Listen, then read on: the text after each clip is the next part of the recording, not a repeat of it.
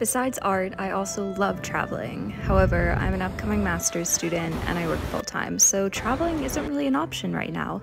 So I thought it would be cool to make a series where I combine both my passions and paint places I want to go to.